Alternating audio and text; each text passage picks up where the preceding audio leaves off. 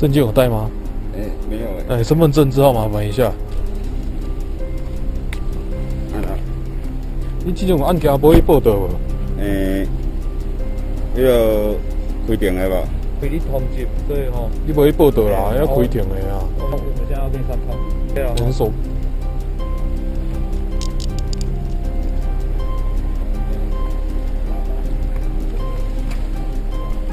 本分局五福二路派出所于七月九日四时许执行快速打击勤务时，经本分局勤务指挥中心通报，在民主路段有人群聚，警方到场，仅发现白色自小客车一部，车内两人均有依规定佩戴口罩，无群聚状况。经查，乘客庄姓男子为高雄。